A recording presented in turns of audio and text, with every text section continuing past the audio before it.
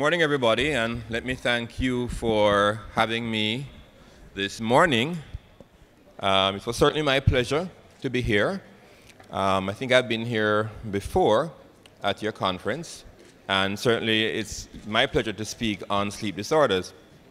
Um, so we're going to be looking at sleep. I'm going to try to just simply outline what is normal sleep versus ideal sleep. I'm going to speak a bit about insomnia, which is a big problem and which is perhaps the main aspect of our talk. And then I'm going to go a bit into sleep apnea, and we close off there.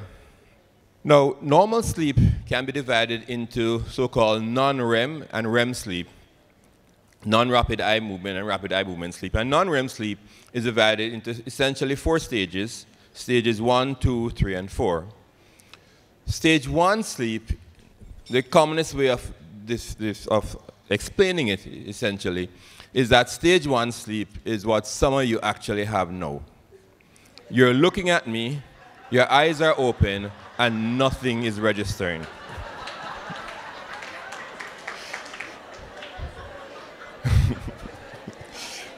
so it's not uncommon to find that people say they don't sleep at all, but they're actually sleeping. So stage one sleep, nothing is registering, your eyes are open and it's like you're in a daze. Stage two sleep is essentially when your eyes start to get droopy. So you're still sitting up, you're still looking at the person, and then the eyelids slowly start to come down.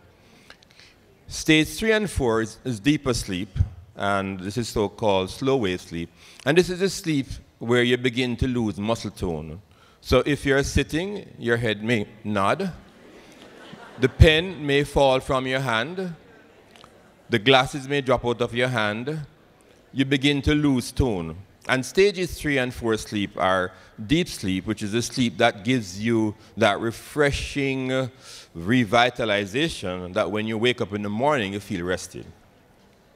REM sleep, rapid eye movement sleep, is also a very important sleep. Again, there is pretty good muscle relaxation during this period, and most persons require good stages three and four sleep and REM sleep to wake up in the morning feeling refreshed. So stages one and two sleep are really the introductory aspects of sleep. They're pretty early. Some of you will actually have it here today. And stages three, four, and REM sleep you'll probably get tonight when you go to bed.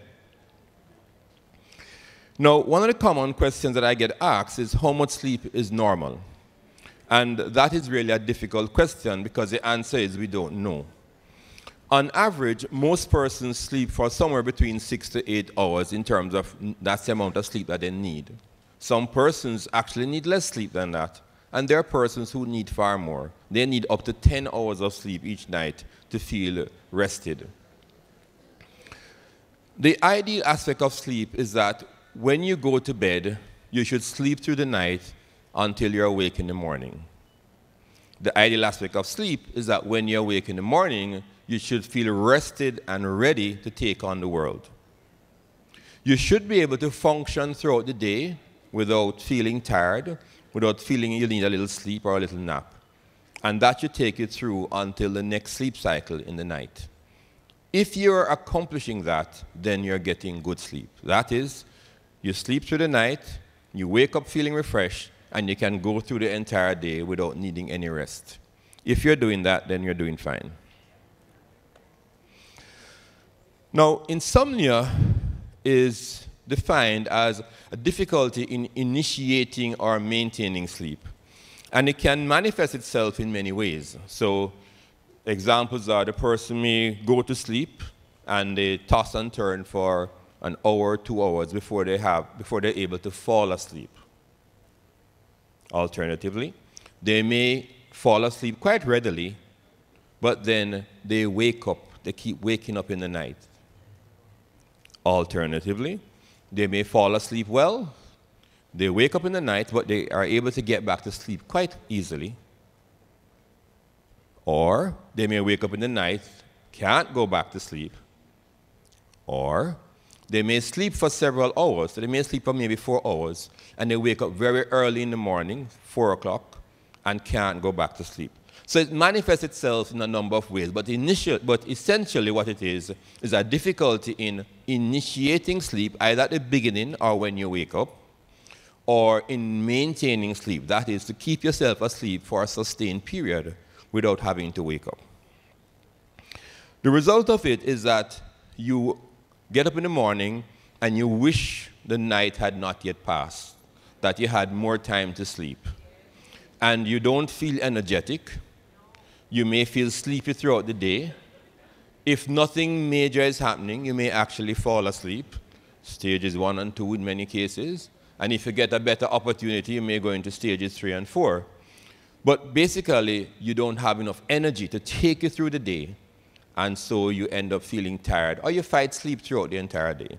And that's essentially what happens. Right, insomnia can be classified into so called primary and secondary insomnia. The vast majority of people really have secondary insomnia. That is, there is some other condition interfering with their sleep. Primary insomnia is less common, meaning when we evaluate the patient, we go through everything, we can't find anything primarily wrong, and what they really have is a true sleep disorder. We can also classify insomnia based on how long it's going on into acute and chronic. So, chronic insomnia will be patients who have re repeated episodes of difficulty sleeping for more than three nights per week when and going on for more than a month.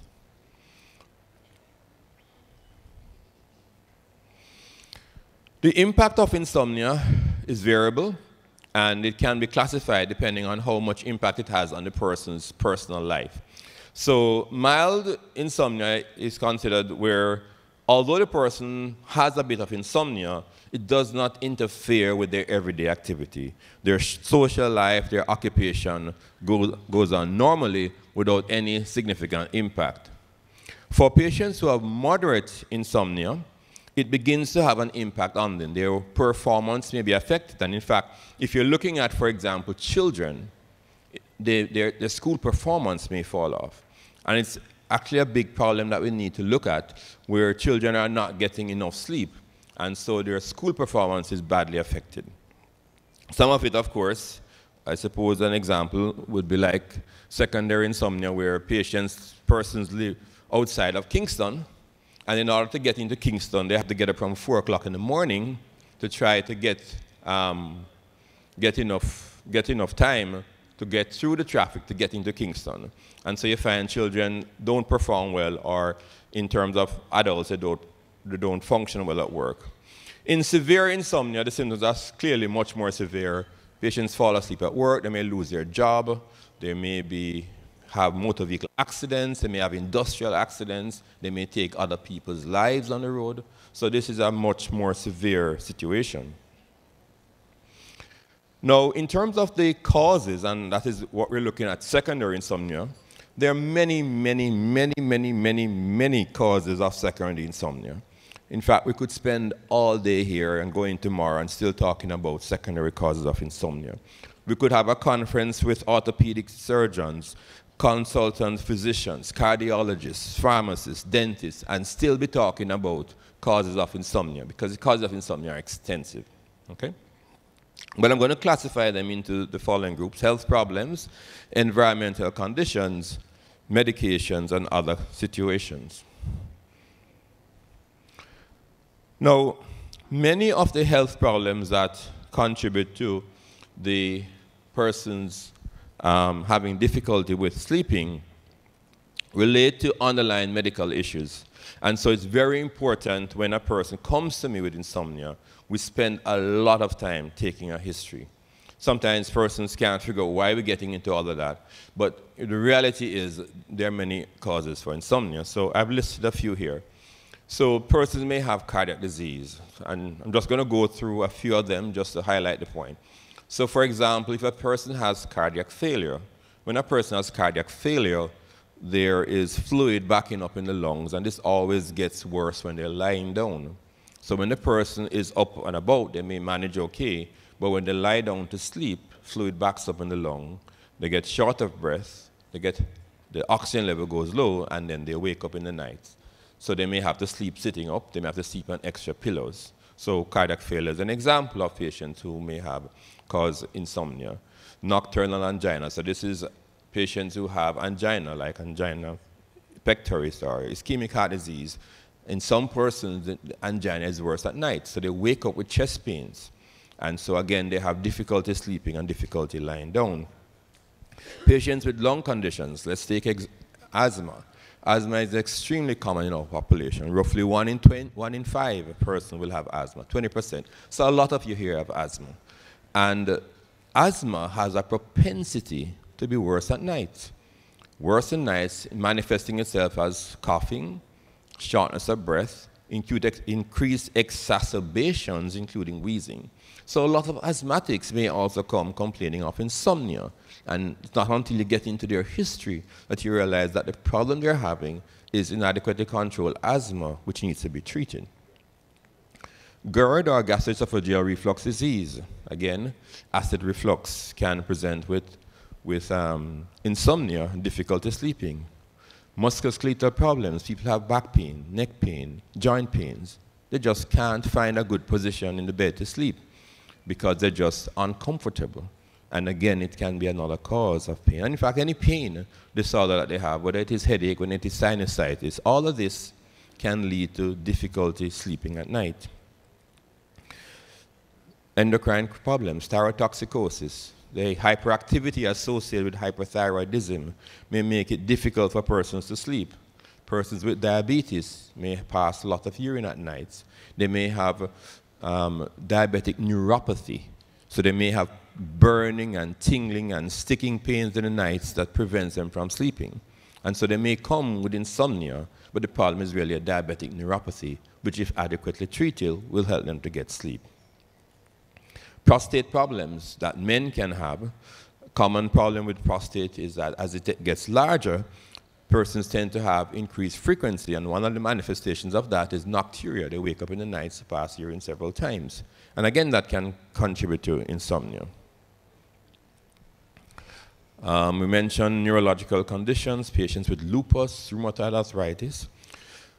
But outside of the obvious physical conditions, one of the commonest, commonest causes of, of insomnia is really some kind of psychiatric, what I'm going to classify as psychiatric problem. Um, not necessarily a, a, full psychiatric disease, but anxiety perhaps is the most common. So you have anxiety, depression, grief, persons are concerned about their, their jobs. Um, Mr. Christian is here. When, when Cari-Med is expanding, people begin to wonder if they're going to lose their job. When technology comes in, people wonder if their jobs are going to be at, at risk. Um, people worry about their, their, their, their, their personal life. They may be having problems with their spouses. They may be having problems with their children. Children not doing so well in school. Children turning to drugs. Uh, they may be worried about what's happening in the, in the economy. Are they going to be able to, to, to purchase a home? What's happening to their car? These are some of the commonest reasons why persons have difficulty. And some of the big, big problems that persons have with, with anxiety are really, I'm not troubling you, Mr. Christian. I'm sure you, I'm sure you look out for your staff very, very well. Um, but um, the biggest contributors to, to anxiety disorders are interpersonal relationships.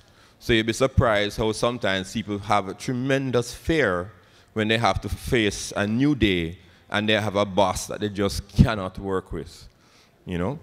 Um, the next one is interpersonal relationships in the family. So spouses, children, that kind of thing. Those are big areas of problems jobs. I mean, that's how you found yourself. So if your job is not doing well, if you're not earning enough from your job, if you are not satisfied with your income, if you're worried about job security, these are all things that can keep you up at night. And um, of course, religion.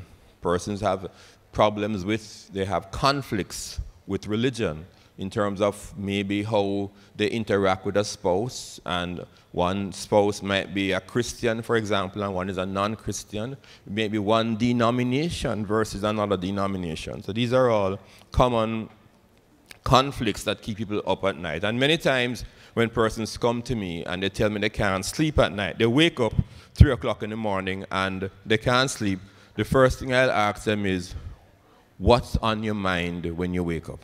because oftentimes it's what is on their mind that keeps them up at night. The other thing that can keep people awake, and this is where government comes in, is noise. Noise in the home. So if you have, uh, if you live in a certain area, if you live near to the national stadium, and football matches are going on and there's noise, and things like that, certainly that can keep you up. Your neighbor is having a party. Lighting inside and outside can also be an important part. Some people like to sleep when it's completely dark. Some people must have a little light. Some people have to have bright lights. So these are all things that you have to go into. And of course, temperature. If the time is too hot, you can't sleep. If the time is too cold, you can't sleep. So these are all things to look at. Pharmacists, of course, you have a role to play. Let me try and keep you awake. Get out of stage one and two and look at me carefully. You have there are medications that you have to talk to patients about because some of these medications can keep your patients asleep.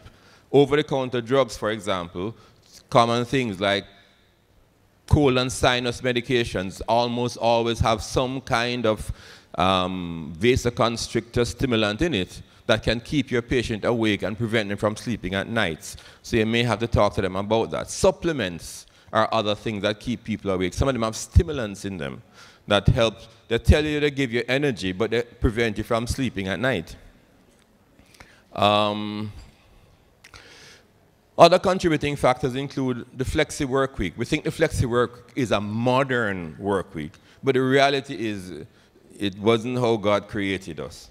So you have persons when they go on night shift, it completely messes up their life. I remember one nurse I had, I eventually she begged me to write a letter for her to tell the sister in charge that she cannot do night shifts because whenever she goes on night shifts, she can't sleep. She does not sleep in the day and then she's on shift at night. I mean, her situation was really bad. It went on for years and I eventually wrote the letter. Flexi works, as we said, jet lag, of course, can also contribute. So some of the common things that you have to ask yourself, and this is some of the things with insomnia, is are you tired in the day? Are you having tiredness? Are you yawning and feeling sleepy? Is there a lack of energy? Are you having headache, especially frontal headaches? You have difficulty with concentration. You have difficulty with memory. You can't remember things. You think you're getting old, but you're just not getting enough sleep. You're irritable.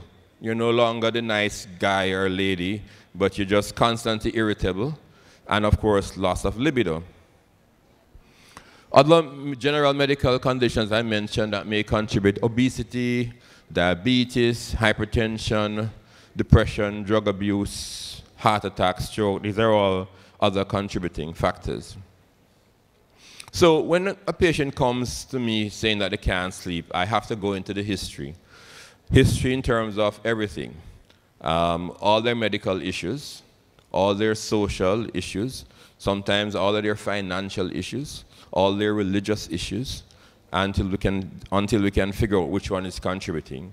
We have to do a physical examination because sometimes there are some obvious things. Persons may have, for example, scoliosis or a twisting of the spine that's making it difficult for them to sleep. There are some blood tests that we routinely do. If you have kidney failure, for example, which may not be obvious until you develop insomnia um, that may, may not show up. Um, we look for heart conditions, we look for lung conditions, so that may include ECGs, chest x-rays, lung function testing. And uh, of course, if we can not identify anything specific, we may go to a polysomnogram, which is a, a full sleep study. The treatment of insomnia essentially is to treat the problem. So if you can identify the primary cause of insomnia, then you treat it. If the patient has asthma that's not controlled, then we treat that. If they have heart disease that's not controlled, then we treat that.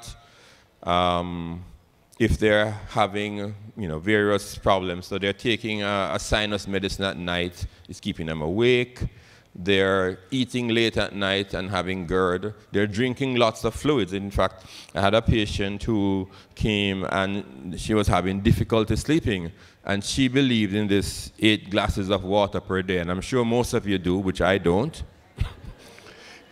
and the problem she was having is she was getting up five and six times in the night to pass urine. So she comes to me complaining of tiredness and she wants to know if she has sleep apnea. Well, we checked her out. She didn't have sleep apnea. She just drank too much water. and once we got her to cut down on the water intake, she was fine. So you really have to go through. Pharmacological therapy is always a last resort. As you know, many of the drugs are addictive, including the benzodiazepines. And so we always go through and try and find some method of controlling the patients without drugs. So we look at things like sleep time. Do they have a set time to go to sleep? It is uh, for persons who have no difficulty in sleeping, you can go to bed anytime you want. For people who have difficulty sleeping, we recommend that you try and have a, a fixed sleep time if possible do a sleep preparation. Tell your body, I'm preparing you to go to bed. Get the environment right. Lighting right for whatever is good for you. Sound is right for whatever is good for you. Some I had a patient who we brought in for a sleep study, and she insisted on watching the television. I said, um, you know, ma'am, the reality is we bring you in for a sleep test. We want you to sleep. She said, listen, doc, if I don't watch the TV, I'll never sleep tonight. So we turned on the TV, she fell asleep, and we were able to do the sleep study. So for her, watching television helped her to sleep. For others, sometimes it's reading a book. Some people, once they watch a television, they'll never sleep because the show is so interesting that they keep watching it until way into the morning period, and then they wake up tired. So it's difficult, it's different for everybody. Eating before you go to bed, not so good, you can get reflux. Drinking before you go to bed, we say waking up to pass urine lighting, sound, all of these things are important. Now, your pharmacist and some medications are also useful. And I, I, I mentioned here both direct and indirect. So sometimes we use indirect method of treating patients. So sometimes I'll have a patient who is having difficulty sleeping and they need a drug to treat a condition. So in that case, I may choose a drug whose side effect is drowsiness and I may give them the drug at night. Doesn't always work. Sometimes it does, sometimes it doesn't. But that's one way of treating it. So somebody, for example, with diabetic neuropathy, who may be going on Lyrica or gabapentin or amitriptyline, these are all drugs whose side effects are drowsiness. So sometimes we'll use that, let the patient take it at night, and sometimes it works. It takes away the symptoms and it helps them to sleep. Okay? So that's some of the ways we may work. If all of that fails, then we go back to our traditional drugs. But as I said, drugs, medications are a last resort. The person, for example, has sinusitis, we may give them DPH at night to help them with it. You know, so you can work around sometimes.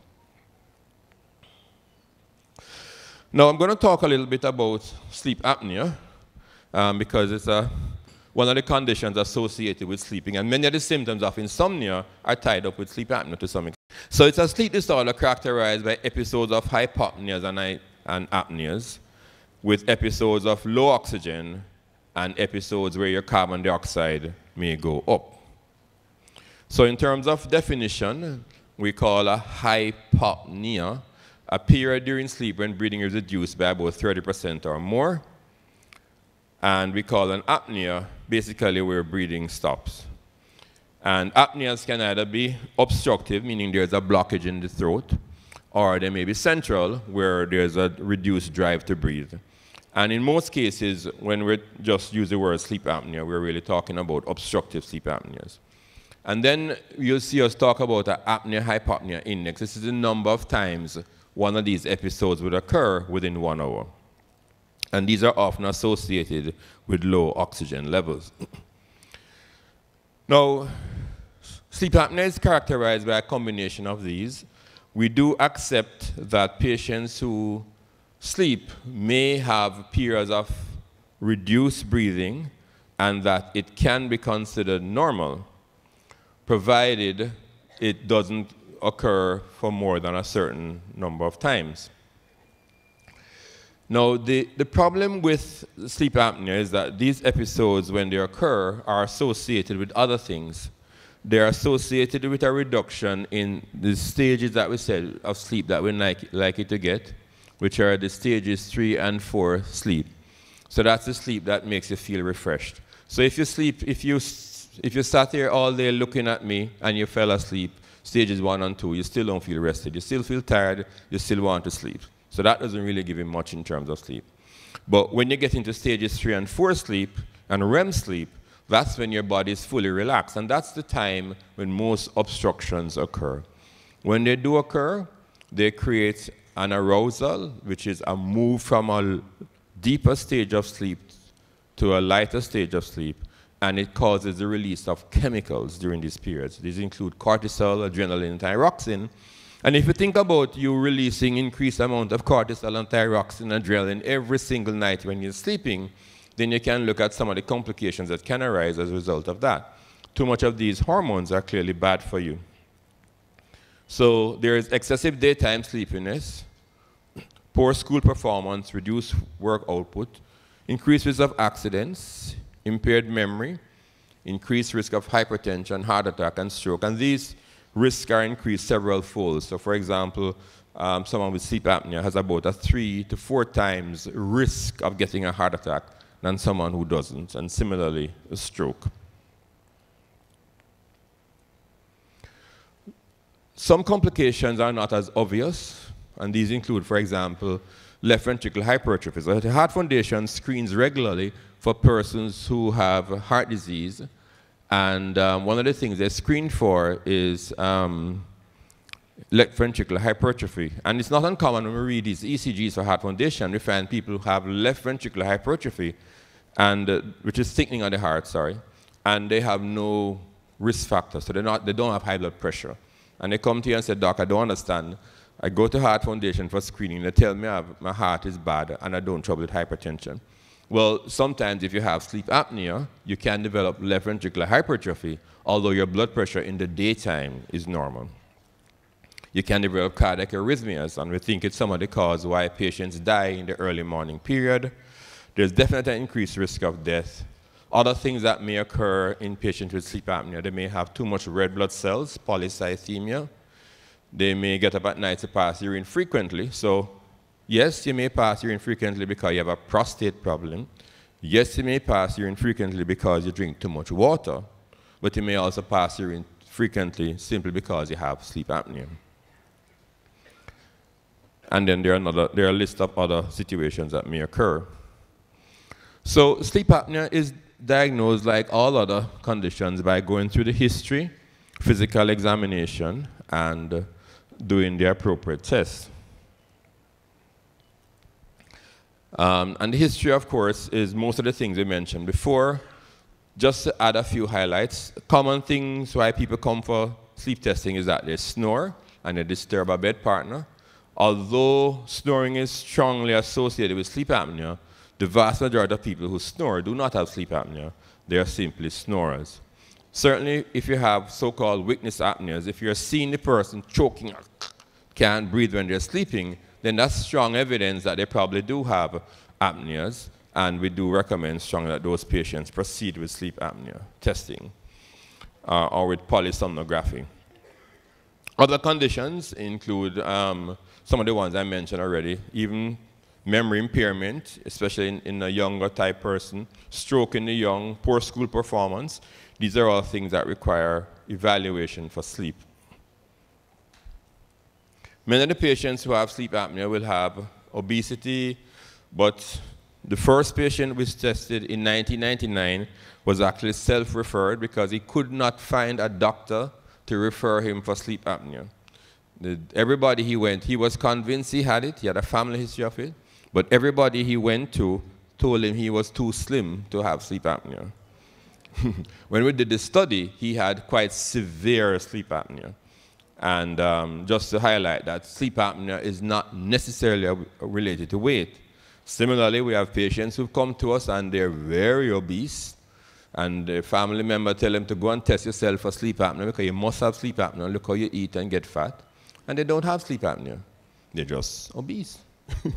so although there's a correlation, obese, most, persons most persons who are obese do not have sleep apnea, and you can be quite slim and have very severe sleep apnea. Um, when we examine the patients, we look for the changes in the back of the throat. One of the contributing conditions to poor dentition and when I speak to dentists, I highlight that, is also sleep apnea because sleep apnea increases the risk of acid reflux, which can lead to damage to the teeth.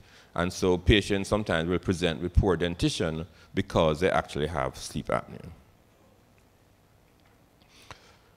Again, I'm predominantly talking about obstructive sleep apnea here. So most of the obstruction occurs at the back of the pharynx, where um, either the tongue or other parts of the body may protrude and interrupt um, breathing while you're asleep.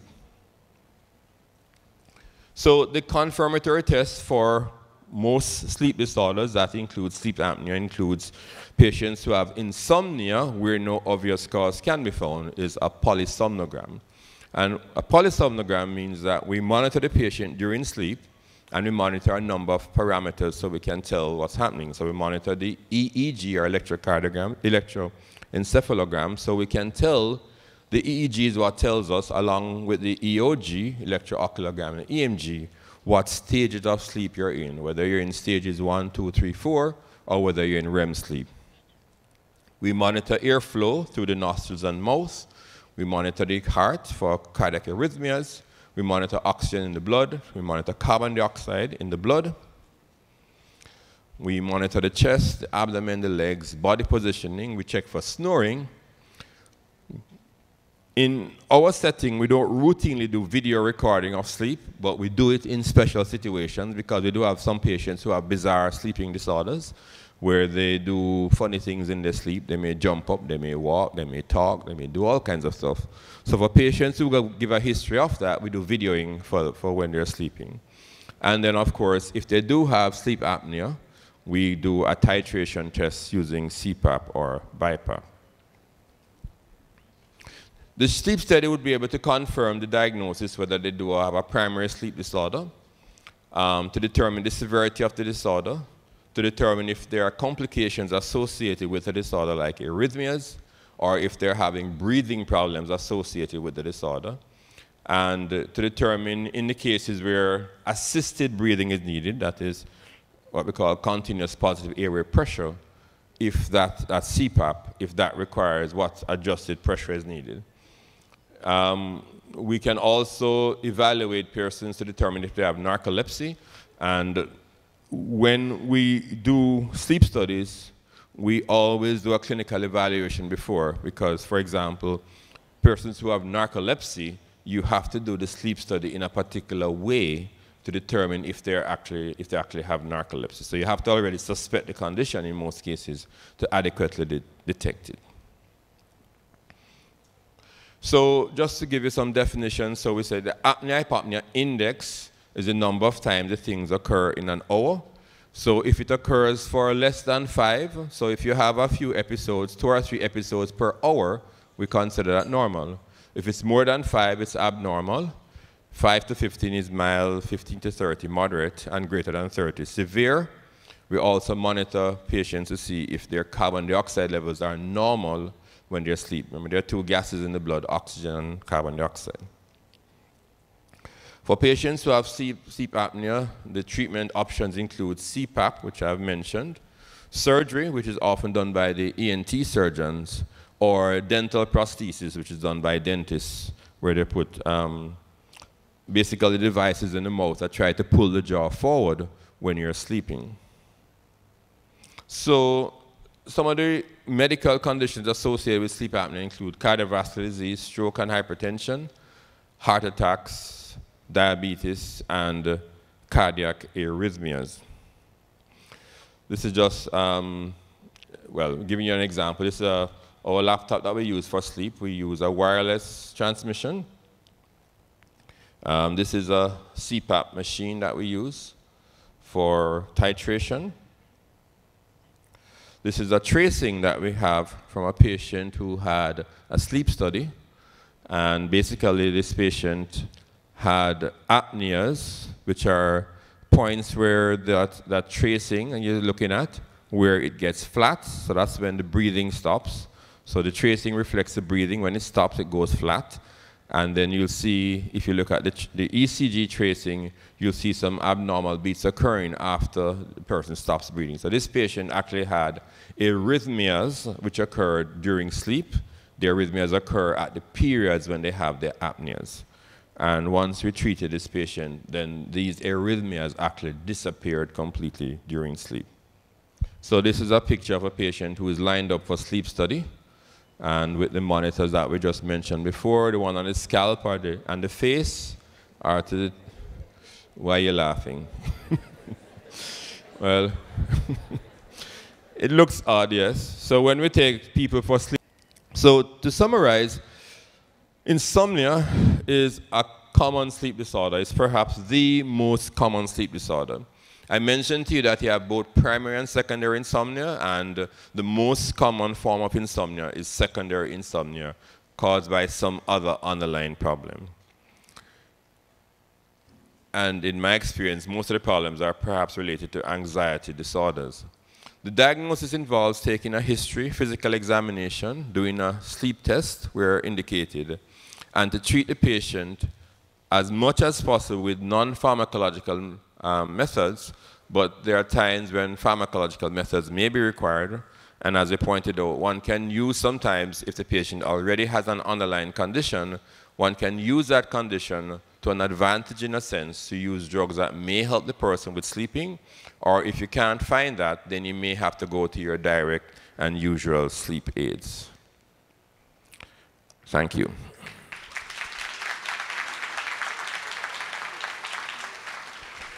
Are there any questions? The question is, as it relates to patients who need CPAP for sleep apnea, and um, are there any adjustments that may be required? So once we diagnose sleep apnea and the patient requires CPAP and accepts it, we strongly recommend that the patient comes back in about three to four weeks initially for a reassessment to confirm that they are satisfied, that it's addressing all the problems after sleeping, and that they're comfortable with the machine. Thereafter, once they are satisfied, we review them once every six months and um, usually, from my experience, the, the machines last forever. What happens sometimes is that the mask may leak, so we may need to change the mask after about two years. Sometimes the straps need to be changed because they're not tight as possible. Um, and we do recommend that the patient comes in roughly once every six months so we can reevaluate them to see that they're still sleeping properly, that the machine is working adequately, that there's no need for adjustment because remember it's a titration we use and the pressures may have may need to be changed to match a change in their condition which may be that they have gained weight over the last year or that they may have lost weight. Development agency, we have some professors who taught us and benzodiazepines when given for more than 14 consecutive nights would cause rebound insomnia. Has there been any changes on that or, uh, or is I've not noticed that most prescriptions don't follow that.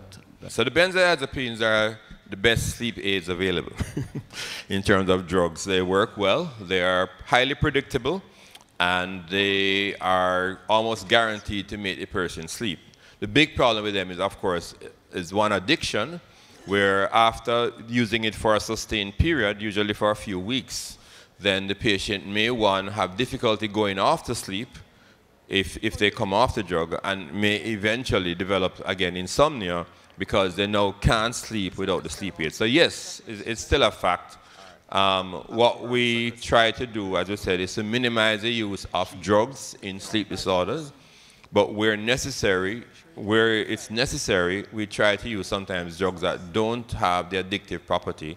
The problem we have, as I said, is that the benzodiazepines are actually the best sleep aids sometimes we can use them in a form of what we call recycling. So for example, you'll have somebody who went on nights, who went to um, one of these, let's suppose these um, night shows.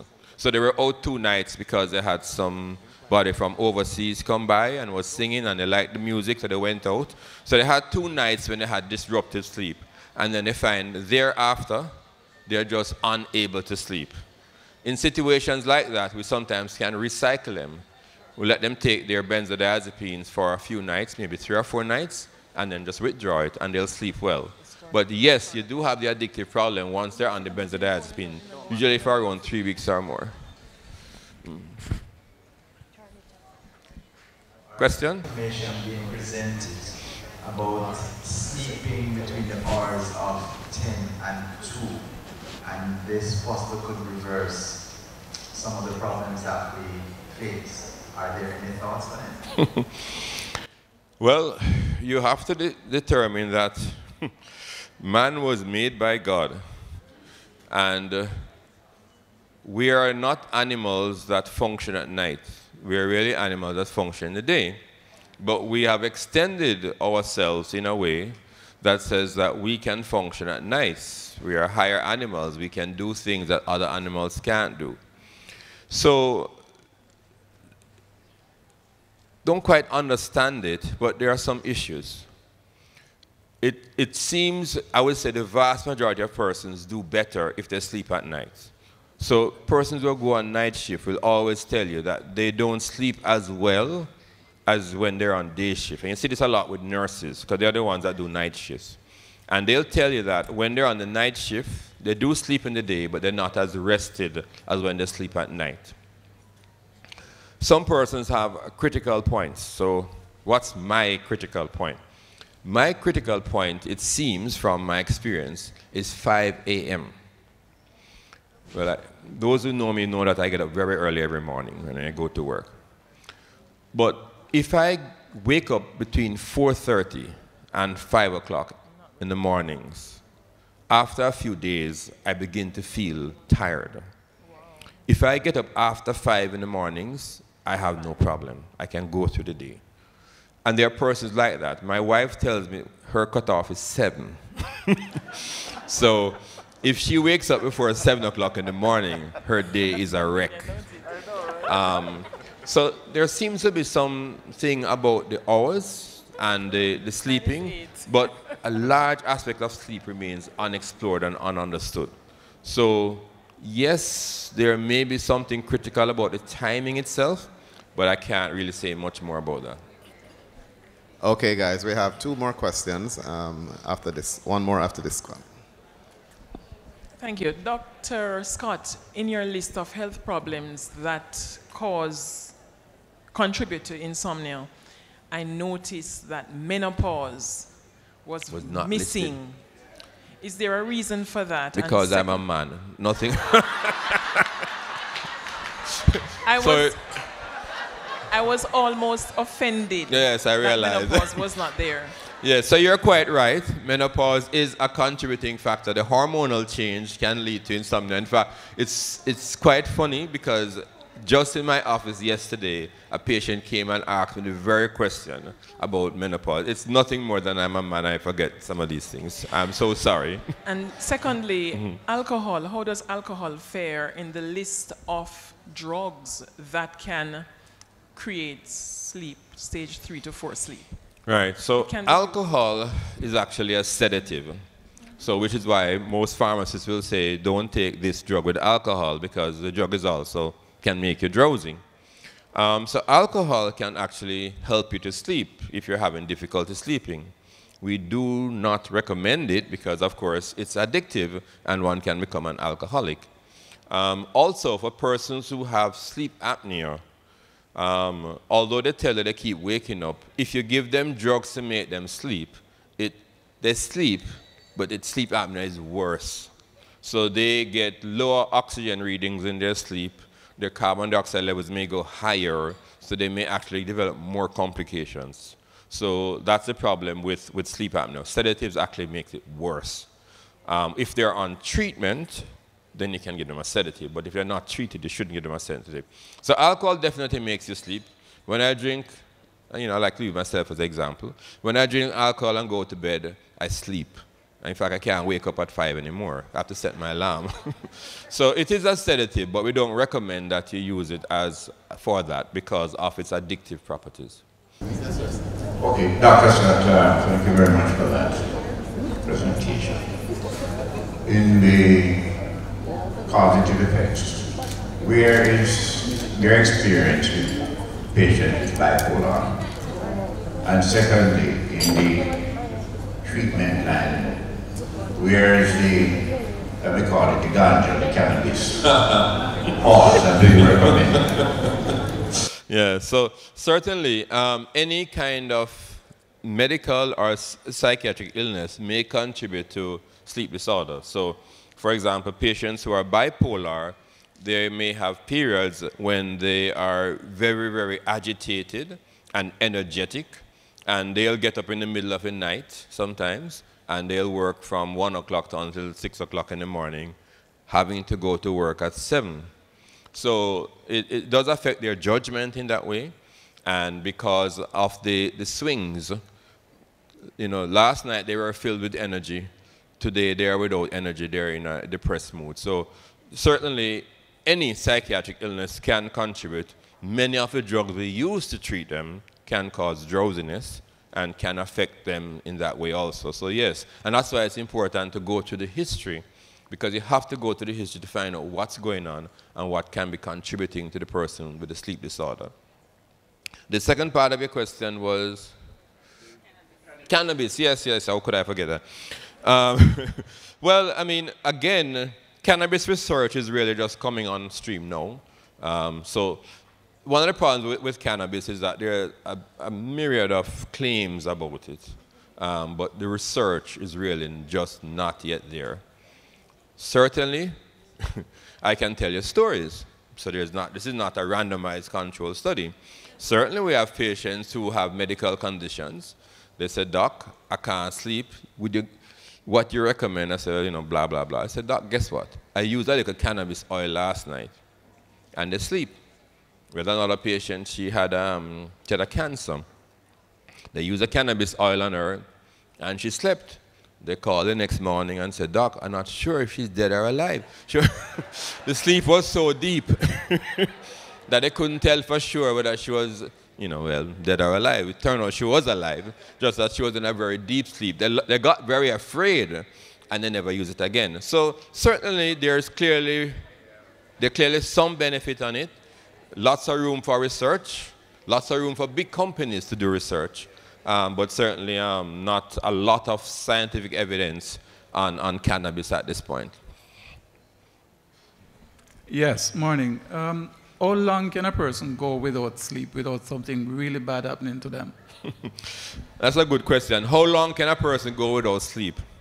Maybe I'm a storyteller. I had a patient who came to me just three weeks ago, and she said she has never slept. She hasn't slept for the last two years. So I told her, you know, I tried my best, and I said to her, listen, if you don't sleep for two years, you'll be dead. The answer is I don't know exactly how long you can go without sleep. Um, studies suggest that you could probably go, nobody goes without sleep more than a few days. So that's the issue with stages one and two sleep. You sleep and you don't know. Um, so, for example, this patient, when I, when I had a conversation with her husband, her husband tells me that, yes, doc, she, she keeps fall, she sleeps in the night, but she doesn't know. Um, but when you ask her, she says she had never slept for two She hasn't slept for two years. Are you tired in the morning when you wake up? She says, no. Are you sleepy in the daytime? No. Do you feel like you need to take a break in the day from your work? She says, no. But I just don't, I haven't slept for two years. After a long and discussion and tests, and we, we eventually did a sleep study on her, which was normal. She slept um, tried to convince her that her problem was anxiety, and she got very upset and, and walked out of the room. So, yeah, I mean, you, you can't go very long without sleep. Um, we don't quite understand sleep, so one of the arguments, for example, one of the theories behind Michael Jackson's death um, was actually lack of REM sleep. That he had a lot of sleep, but not enough REM sleep. And again, we don't fully understand. You do need some REM sleep to stay alive. And the theory is that he just missed out on REM sleep because of what they were using to make him sleep did not create REM sleep. It just created sleep. Um, I have no idea if that is true. Please do not quote me.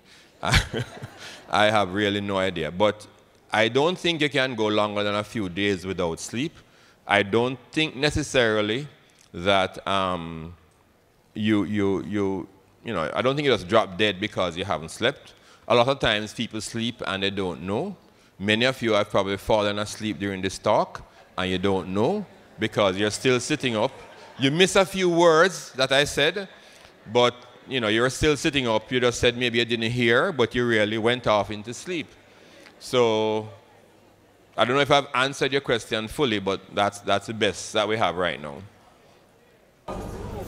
Um, Dr. Scott, I wanted to um, contribute to your answer on cannabis in psychiatric disorders. It is actually contraindicated. CBD, however, has good effects in um, anxiety.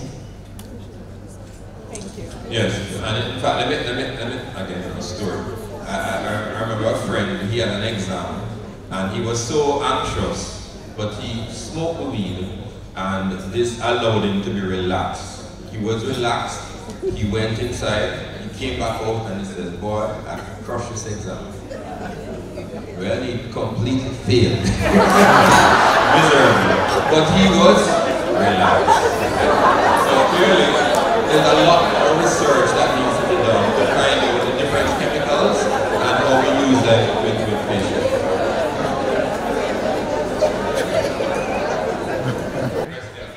Yes. Dr. Scott, uh, as a sleep specialist, do you encounter cases related to sleep paralysis? And if so, what is the approach to treatment? The question is on sleep paralysis. So sleep paralysis are these periods when you are asleep or in a semi-quasi state of sleep, which is actually sleep, but you are sufficiently awake to have some degree of consciousness of what is around you, and you feel like you can't move. The simplest example is Duppy hold you down. Right. Um, that, that, that's what it is called in local terms, right? Um, it, is, it is actually very common. Um, it is actually sleep. You actually think you're awake. Again, it's often good when, when you have experienced it. I have experienced it.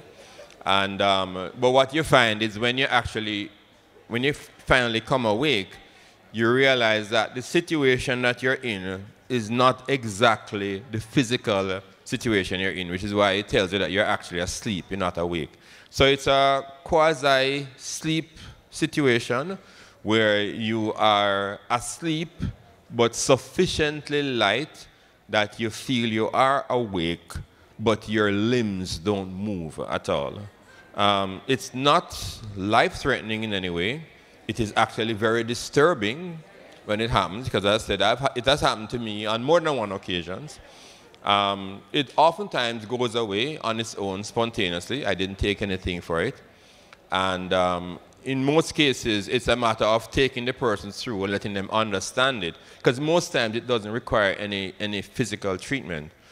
When the person goes into deep sleep, they tend not to have it. But you see it sometimes when you're in that early sleep stage where the stage between being awake and being asleep is a very unstable state. And that's when you tend to get it. So I saw something online that said it may be better than, um, instead of getting eight hours of sleep straight, that you divide the sleep into two. Yeah. Is that, do you have any experience of patients that say, or oh, they get more restful rest that way? Or is it better to just have one month sleep? Yeah. So the answer to that is we're not sure, but I think there's a variation in individuals. So one of the things that struck me is the long historic event of the siesta in the Spanish-speaking countries.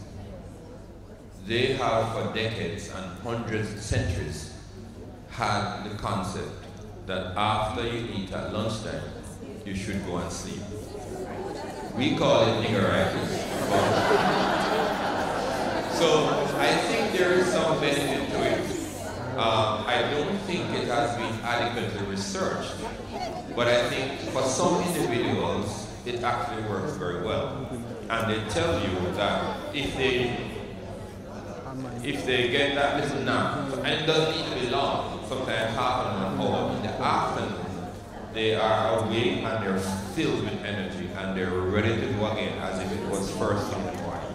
So again, it's something I've noticed. I mean, as I said, the, the Latin American, the Spanish group, this is where the siesta comes in. And I mean, in some places, it's not so common now because everybody has become uniform, English speaking, Spanish speaking, French. But in the, years ago, the, the Spanish countries used to shut down for a brief period in the afternoon. And then they would go on late at night in terms of opening hours. It's the English that really run the straight thing and then close off at like 5 to 6. But the Spanish would take a break and then they have a longer opening hour.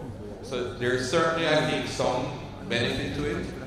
I think it's, you know, it, it, you'll have to work out whether that is good for you or not. Um, I must say I used to use it. Um, I, when I had more time, I used to go home and just take a half an hour or one hour nap in the after like 12, 1 o'clock. Um, this was many years ago when I had more time. And I used to feel very good about it. Um, but you can work out what's best for you. Okay, final question. Thank you for an excellent presentation, Dr. Scott. So my question is the Fitbits and the watch that you could use and it can measure your sleep in your night and it tells you remembrance, awake, deep sleep and, and benchmark for your age. How accurate are those devices? Can we use them or should we not? Well, I, I think, I mean, I can't hit technology. Um, I don't, I'm not aware of them being tested uh, um, in a very scientific way against standard sleep studies. Um, I think it's a useful screen to help you to determine if you're getting adequate sleep. So I think it's a useful tool that may give you some idea.